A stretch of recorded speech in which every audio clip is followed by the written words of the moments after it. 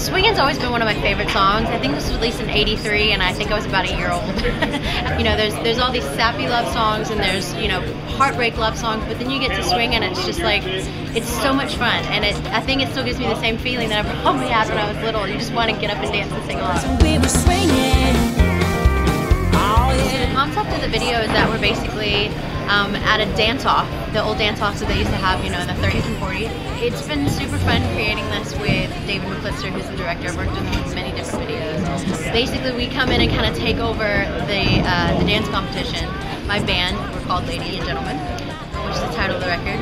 I end up kind of being pulled into the dance competition myself and basically kicking everybody's butt with Benji Schwimmer which I couldn't ask for a better dance partner.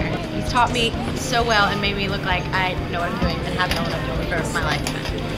Any choreographer would be lucky, lucky, lucky to be working for someone talented. I called him and uh, we'd actually met before. I think I was 13, he was 11 or something like that. And Disneyland Hotel, he has a picture of the both of us together when we were super young.